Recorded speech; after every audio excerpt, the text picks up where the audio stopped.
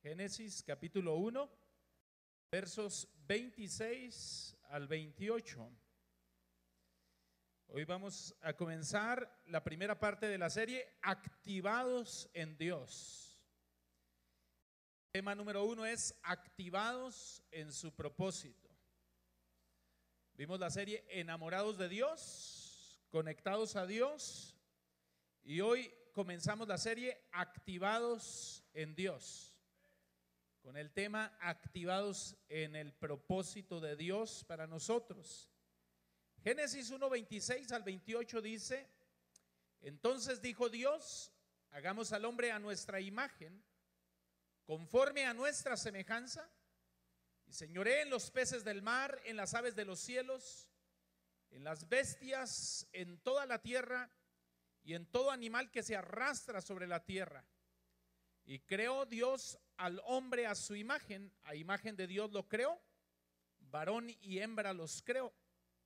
Y los bendijo Dios y les dijo, fructifiquen y multiplíquense, llenen la tierra y sojuzguenla.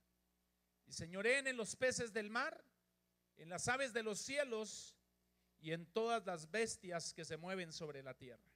Oremos. Padre, te damos gracias por tu presencia. Has prometido estar donde están dos o tres congregados en tu nombre y en tu nombre estamos. Pedimos que nos hables, que nos bendigas, que nos impartas, que nos actives en tu propósito divino.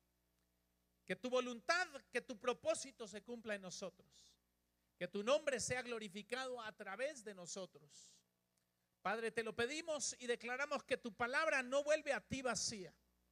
Que hará lo que tú quieres y será prosperada en aquello para lo que la envías.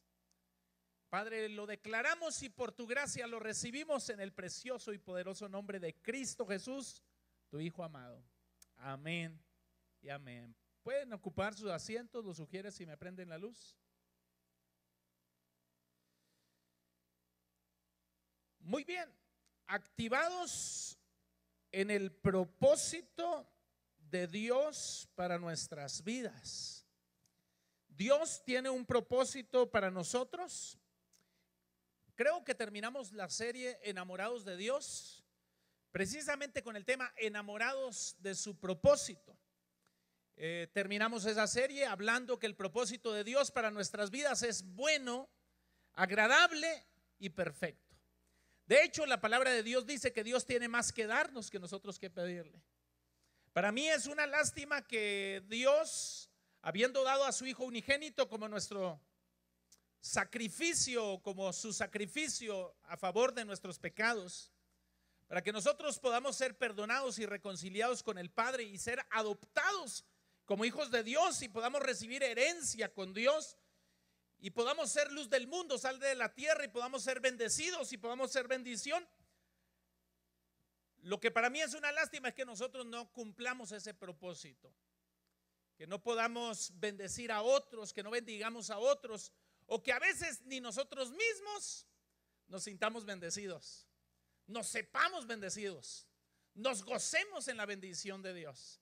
Así de que le pido al Espíritu Santo en esta hora que Él tome control de mi mente, de mis labios, de mi corazón y también de su corazón y que las palabras que impartamos en esta hora eh, puedan traer luz, revelación para activación de ese propósito que Dios tiene en nuestras vidas. No basta con conocer a Dios. La voluntad de Dios es que le conozcamos, que Él es bueno, que para siempre es su misericordia. Es parte de su propósito. Yo lo dividiría su propósito en tres partes. Dios quiere, número uno, que le conozcamos, pero número dos, quiere que después de que le conocemos, y recibimos a Cristo y nacemos de nuevo y somos salvos, Él quiere, número dos, que crezcamos en Él. Dios quiere que no solamente conozcamos que hay un Dios, conozcamos que Dios le ama, Dios quiere que conozcamos el amor de Dios, la grandeza de Dios, el poder de Dios, la misericordia de Dios, las promesas de Dios, todo lo que Cristo compró para nosotros en la cruz del Calvario. Él quiere que usted sepa. Desafortunadamente hay un montón de gente que no sabe, que sabe poquito, pero no lo suficiente. Y la palabra de Dios dice, mi pueblo fue destruido porque le faltó conocimiento. No es que no sabían, sabían, pero no lo suficiente como para levantar el pecho, como para, para levantar los puños espirituales, como para defender su matrimonio, su familia, sus hijos, su negocio, lo que Dios les ha dado, como para defender el sueño de Dios y el propósito de Dios para su vida. Sabían, pero no lo suficiente. Así es de que Dios quiere que usted y yo le conozcamos, pero aún más quiere que después de conocerle, quiere que crezcamos en ese conocimiento, que sepamos lo suficiente como para ser luz del mundo y sal de la tierra, como para ser bendecidos y para ser bendición también a otros.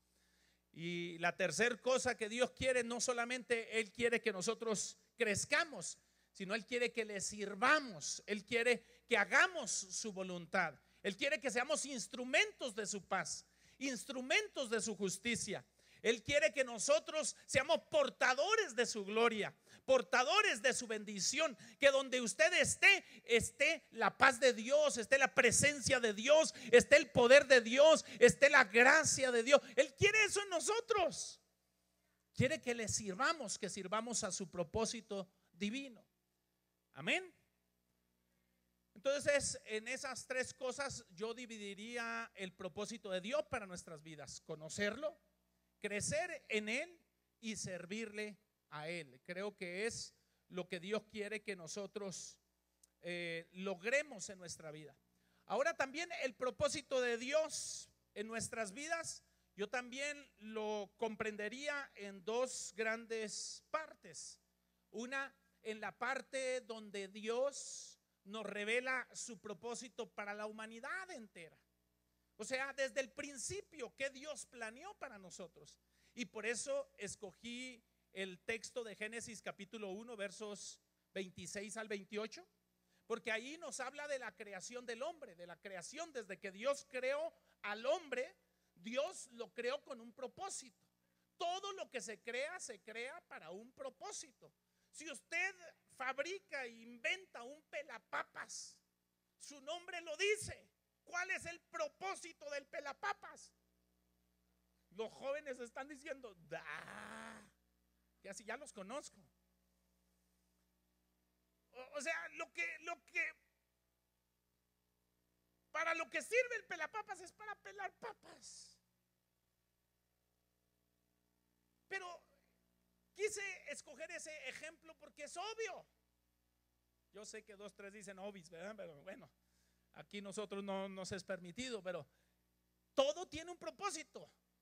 La televisión, la silla sirve para para sentarse. La mesa es hecha con el propósito de comer.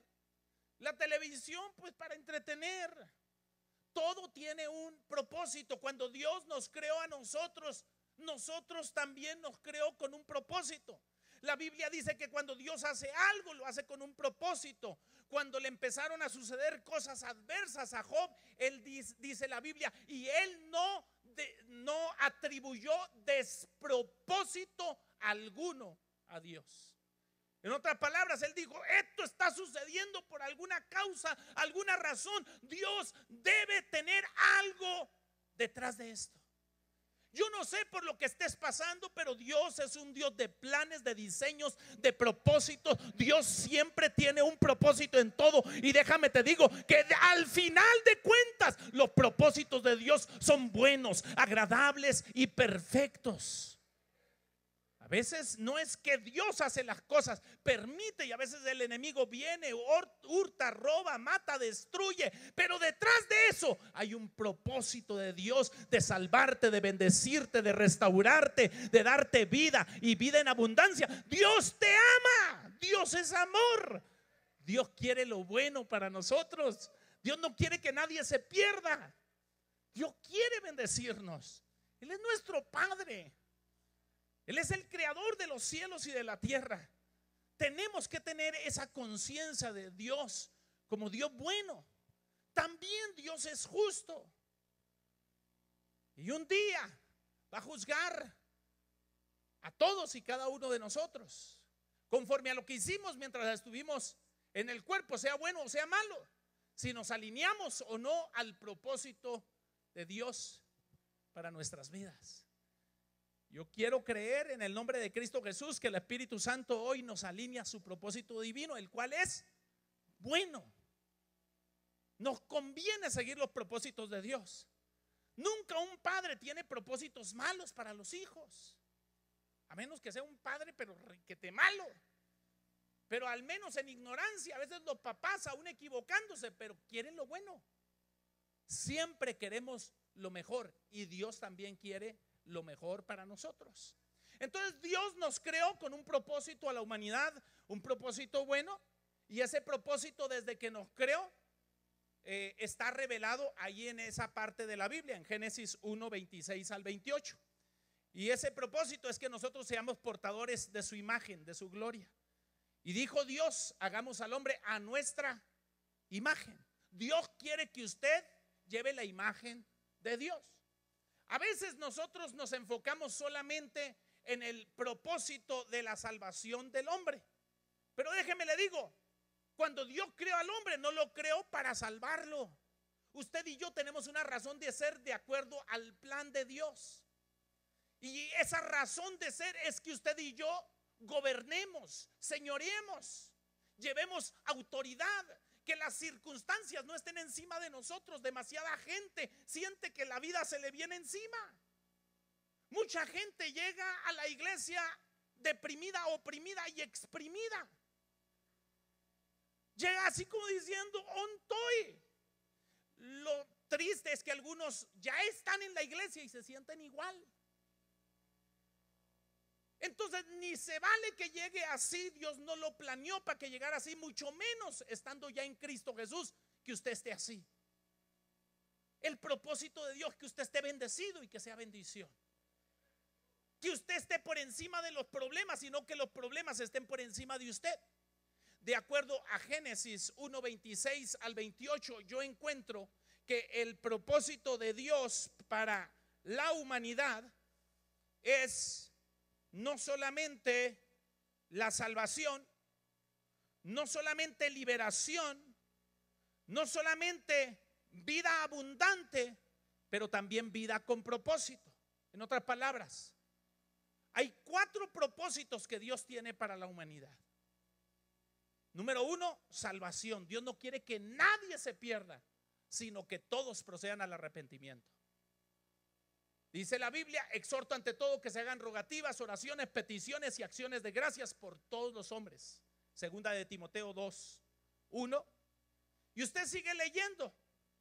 Y dice, el cual quiere que todos los hombres sean salvos y vengan al conocimiento de la verdad. Dios quiere salvar a todos los hombres. Pero antes de que el hombre pecara, ya tenía un destino de gobierno y de dominio que tuviera vida abundante. Cristo vino a restablecer ese propósito.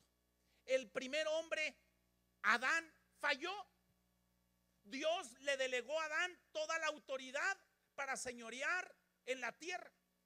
Y le dijo, mira, mi plan contigo es este. Tú vas a señorear sobre las aves de los cielos, sobre los animales de la tierra, sobre todo lo que se arrastra en la tierra y aún sobre todos los animales del mar.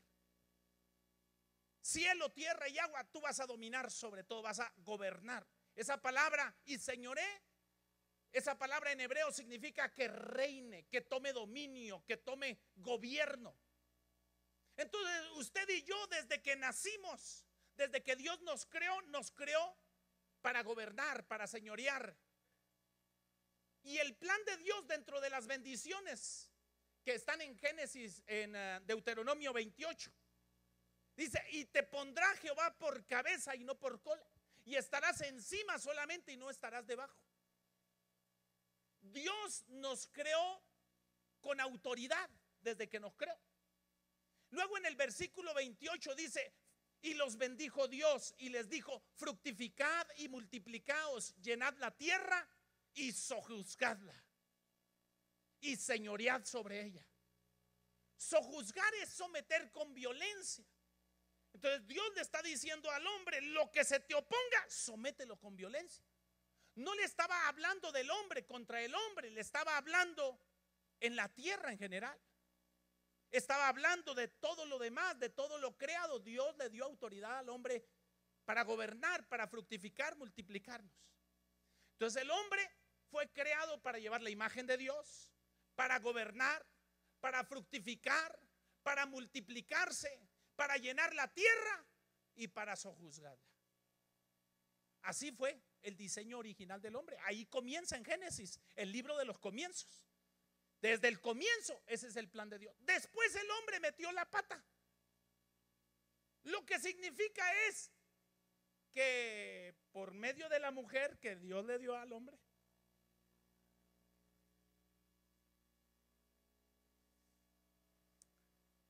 Bueno, así dice la Biblia, ¿verdad? O sea, la mujer escuchó a Satanás, la engañó, comió del fruto y el marido, bien mandado, comió también del árbol de la ciencia del bien y del mal que no deberían de haber comido.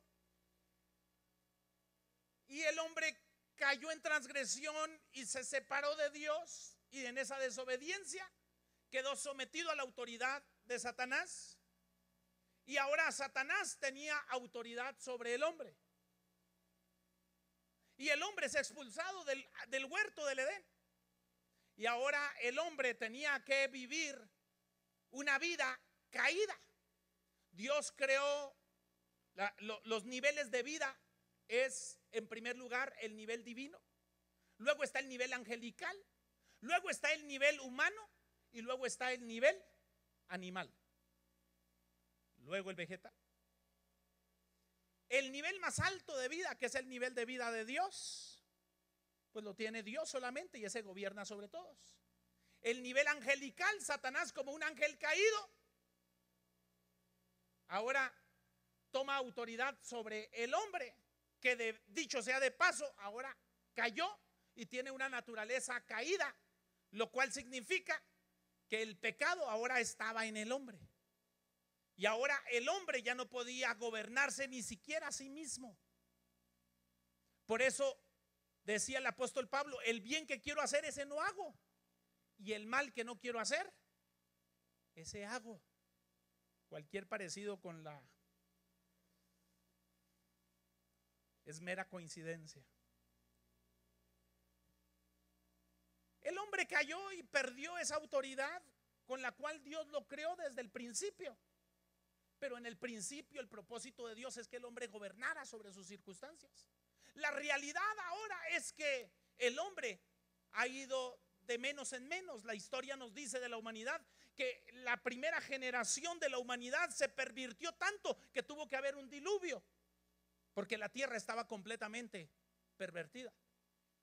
Luego nos dice que después con Noé vino después de Noé una generación que empezó a pervertirse y Dios encontró un hombre que se llama Abraham. Y en Abraham él empezó a recuperar su propósito, el propósito de, gobierno.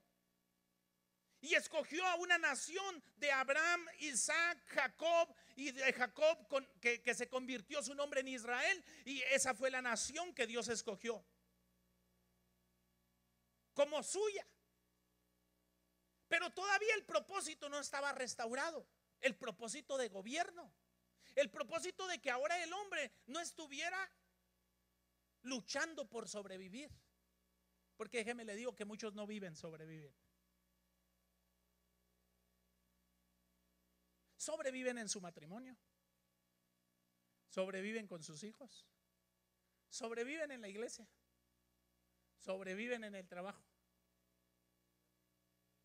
sobreviven en su mente, sobreviven en sus emociones, sobreviven en su salud, sobreviven simplemente. Ese no es el plan de Dios. Dios no crió al hombre para que sobreviviera. Sobrevivir es como alguien que yo me lo imagino como que lo dejaron en el desierto. Y como que se anda arrastrando y llegando como, como sobreviviendo como en las últimas.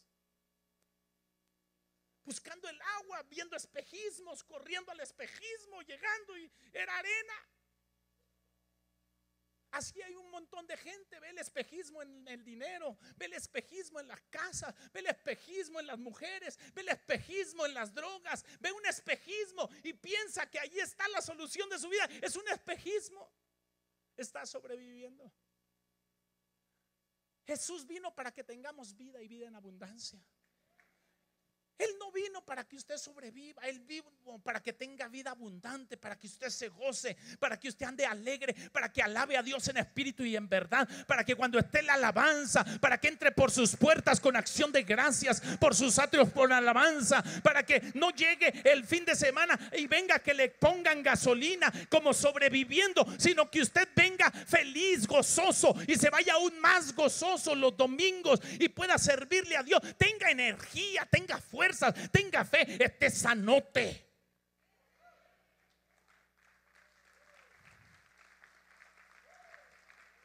Más sano que un caballo, que un caballo sano, ¿eh?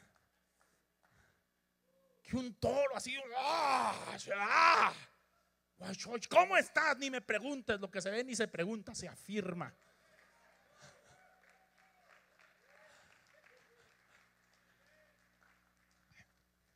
Ah, no es presunción, hermano, es vida. Es que de su interior deben de correr como ríos de agua viva. Dios creó al hombre para gobernar y para gobernar necesita energía, necesita fe, necesita autoridad, necesita fuerzas, necesita claridad, necesita salud, necesita estar fuertote, necesita no decir, ay, es que yo ya estoy viejito. ¿Cuál viejito? Viejos los cerros y todavía enverdecen. Estoy más fuerte que hace 40 años. Ah, Caleb tenía 80 años y no se consideraba viejo.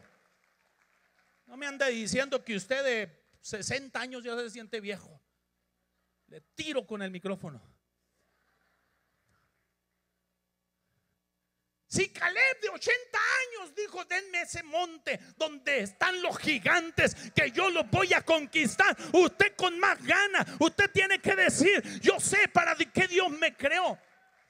Si Dios lo permite, 100 a los 120 años todavía voy a decir, denme ese monte, denme ese país, denme esa ciudad, denme ese, Señor, dame, Señor, esa tierra. Yo voy a ir, voy a llevar un ejército de valientes, de hombres, de mujeres que temen a Dios, que aman a Dios. Señor, lléname de fe, lléname de fuerza. Yo declaro que en esta iglesia los viejitos están fuertes, con fuerzas del búfalo. Dios aumenta tus fuerzas como las del búfalo.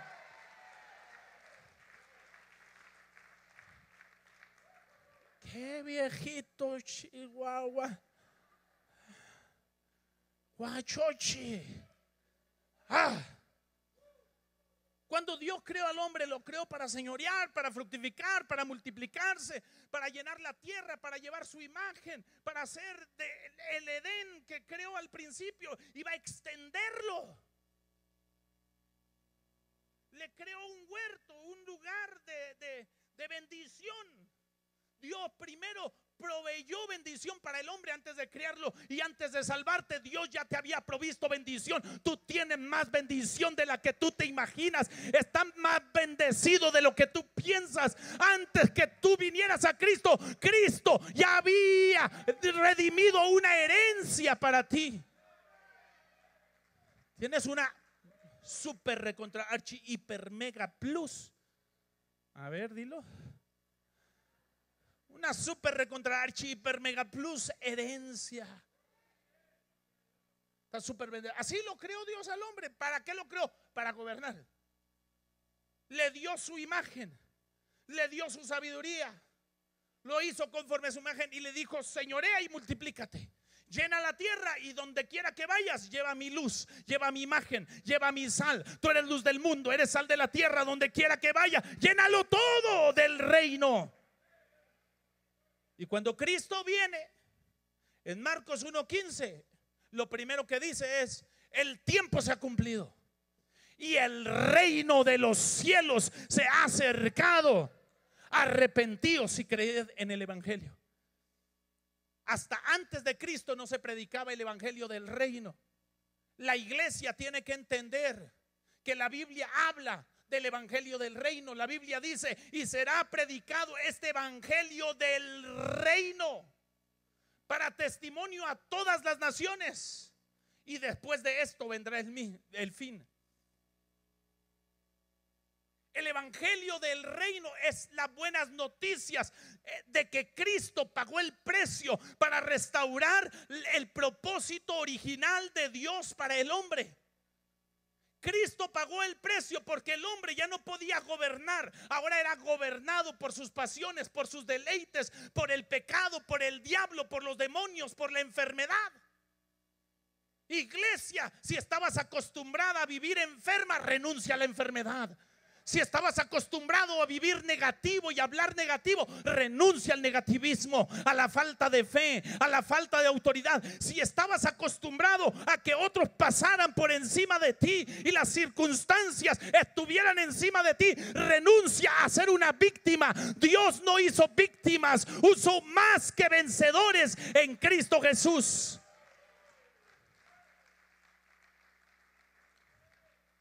Dios te levantó para que seas más que vencedor en Cristo. Entonces el propósito de Dios para la humanidad ahora actualmente es la salvación porque el hombre cayó. Lo primero que Dios quiere es restaurar ese propósito de dominio, de gobierno, de autoridad. Y para eso lo primero que tiene que hacer es salvarlo, es que conozcan a Cristo. Porque la gente no tiene esperanza, no importa cuán rica sea, cuán educada sea. Hay ricos que se suicidan. Hay educados que se suicidan. Que no encuentran la paz, que no encuentran el gozo. La fama no tiene la respuesta. Hay famosos que se suicidan.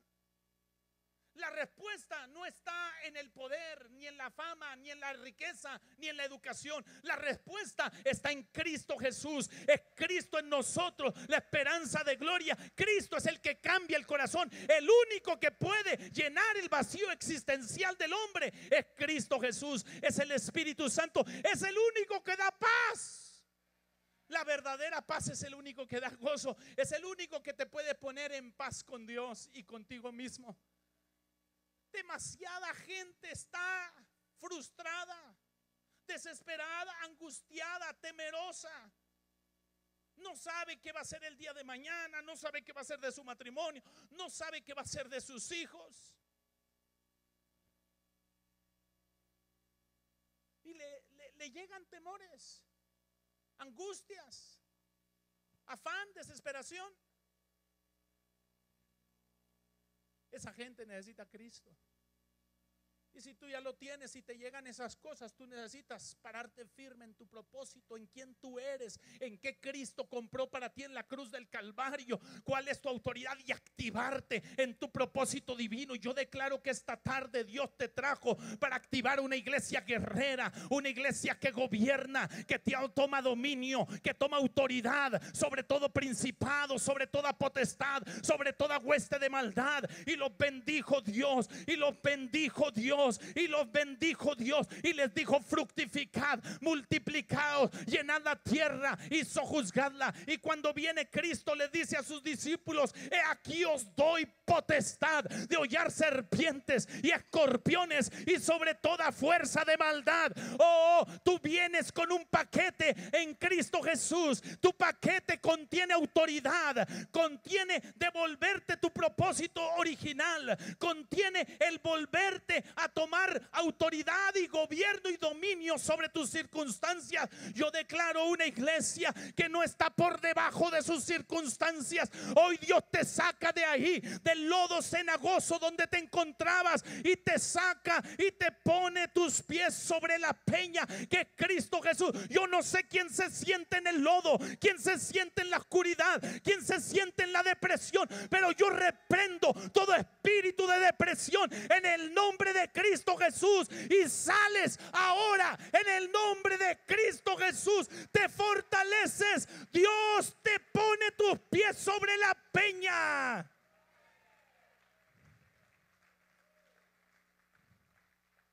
Si hoy tú vienes por primera vez y sentías que venías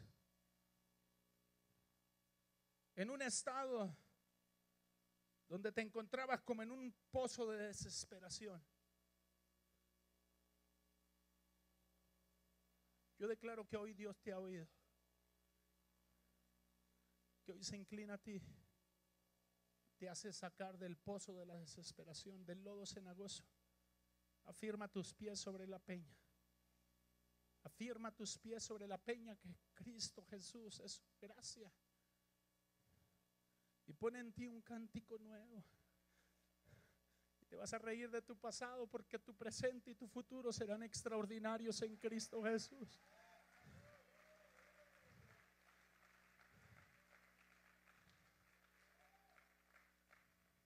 No os acordéis más de las cosas pasadas, ni traigáis a memoria lo que te ha sucedido. He aquí yo hago una cosa nueva. He aquí yo hago algo nuevo. Será tan grande que de tan grande no la podréis creer. Algo grande viene. El propósito de Dios para ti es bueno, agradable, perfecto, es poderoso en Cristo, pero necesitas activarte. Necesitas pararte en su propósito.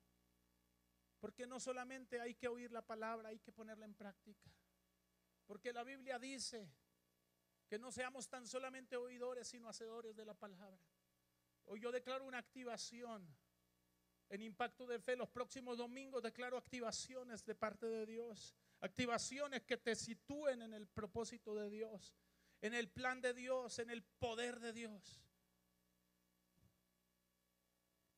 Lo primero que el hombre necesitaba era la salvación. Conocer a Cristo, conocer su propósito, conocer el amor de Dios, conocer la redención en la sangre de Cristo Jesús. Que Cristo no fue vencido en la cruz, que Cristo venció en la cruz y resucitó confirmando su victoria. Que al vencer y confirmar su victoria, ahora le dio, se le fue dada toda autoridad en los cielos y en la tierra y que Él fue puesto por cabeza sobre todas las cosas, fue dado a la iglesia que somos tú y yo. Él es la cabeza, la plenitud de aquel que todo lo llena en todo. Él es tu cabeza y tú eres su cuerpo, lo que significa que tú tienes la autoridad que Él tiene porque Él está en ti.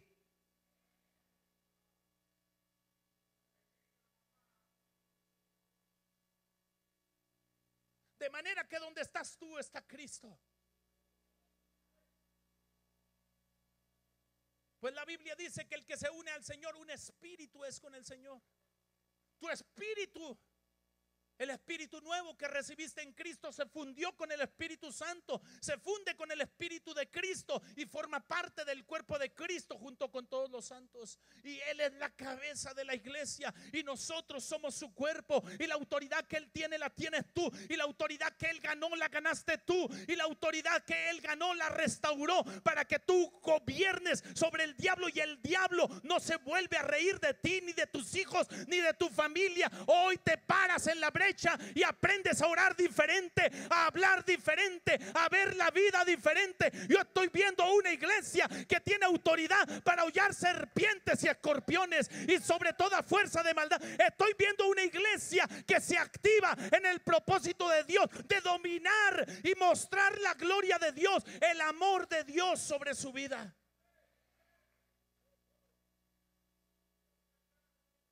Salvación restauración. El propósito de Dios no solo es salvarte, Él quiere restaurar los años que comió la oruga, el saltón, el revoltón, los años que has perdido. Se abre tu mente y tu corazón, tus sentidos espirituales se ensancha tu corazón y se ensancha tu fe en esta hora en el nombre de Jesús para creer no por poco, para creer por mucho. Estás en impacto de fe. Si Dios te trajo a esta iglesia, te trajo para ensanchar tu fe, te trajo para que creas que Dios te ama, que Dios tiene más que darte que tú que pedirle. Oh, en el nombre de Cristo Jesús, abre tus ojos en la fe y ábrelo en grande, porque Dios restaura. Dios restaura. Yo no sé ¿Quién ha tenido pérdidas? En salud, en finanzas, pérdidas emocionales, espirituales, ministeriales, pero hoy Dios restaura. En el nombre de Cristo Jesús. Salvación, restauración. Dios tiene para nosotros, pero Dios también tiene vida abundante. No solamente te restaura, quiere llevarte a un punto donde Dios no solamente evitó que fueras al infierno. Hay cristianos que me ha tocado oír que dicen, mire pastor, yo quiero llegar al cielo aunque sea de panzazo. De panzazo significa como con seis, porque cinco está reprobado. De panzazo decían en mi rancho para los que apenas pasaban.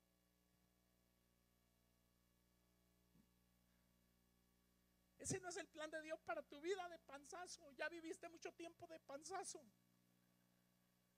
Estás todo raspado. Ya es tiempo de pararte y correr en Dios. Es tiempo de volar en Cristo. Es tiempo de ver la gloria de Dios, de cambiar tu vida. Hermano, despierta en el nombre de Cristo Jesús. No te conformes con vivir y sobrevivir. Empieza a gozar la vida en Cristo Jesús, a tomar autoridad, a tomar las armas del Espíritu. Hay que nacer de nuevo, pero hay que crecer en esa nueva vida. Hay que pasar por el proceso, hay que estar en la célula, hay que no hay que menospreciar la vida espiritual. Mucha gente menosprecia la vida espiritual. Viene a la iglesia los domingos por religiosidad para que su conciencia no le acabe de condenar. Pero ellos no quieren crecer, ellos quieren sobrevivir. Ellos dicen, ¿para qué tanto brinco si estar tan parejo?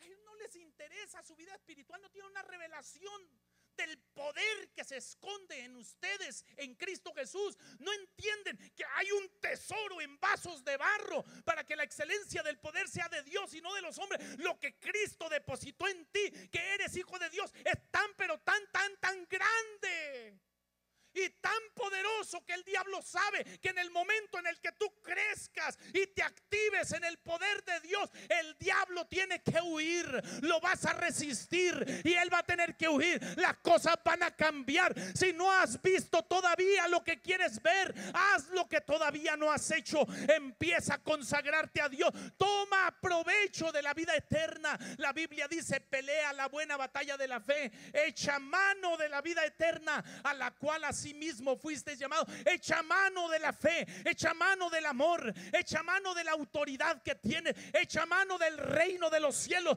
Tú eres un embajador del cielo en la tierra. Tú tienes autoridad, tienes investidura, tienes poder. La Biblia dice, pero seréis investidos de poder de lo alto. Oh, tu iglesia, eres poderosa en Cristo Jesús. Levántate y resplandece. Cumple tu propósito. Tu propósito es gobernar. Tu propósito es ser bendecido. Tu propósito es ser bendición. Tu propósito es que te actives. Dios tiene un propósito. Él quiere activarte. Y yo declaro que hoy se activan muchas vidas, matrimonios, jóvenes, niños, adolescentes que le creen a Dios, que entienden que esto no es jugar a la iglesita. ¿O no? Oh, no, no, no, no, no. Oh, no.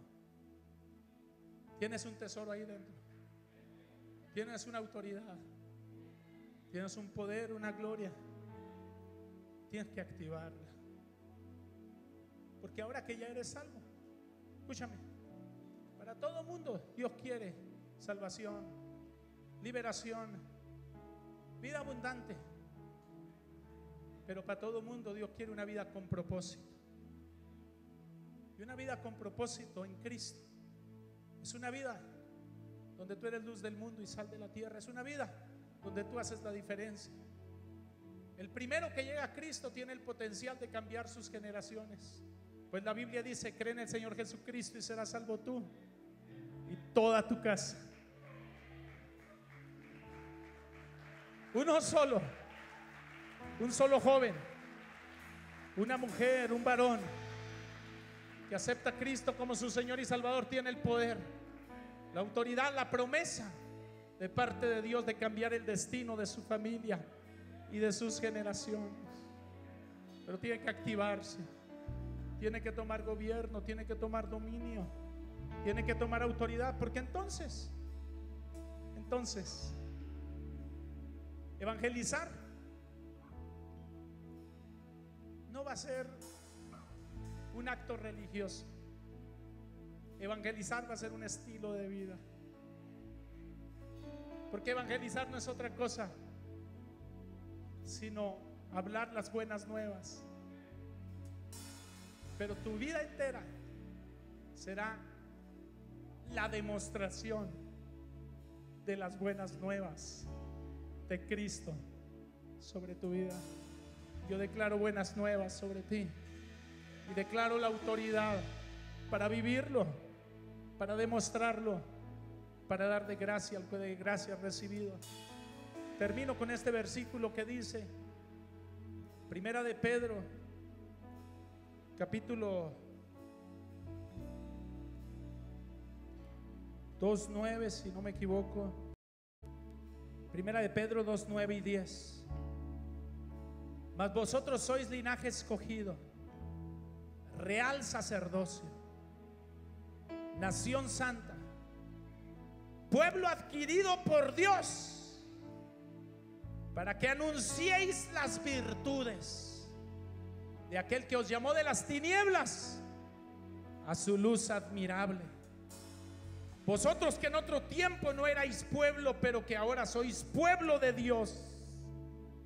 En otro tiempo no habíais alcanzado misericordia, pero ahora habéis alcanzado misericordia. ¿Habrá alguien que ha alcanzado la misericordia de Dios?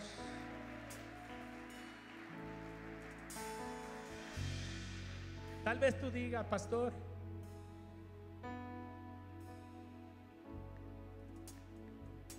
yo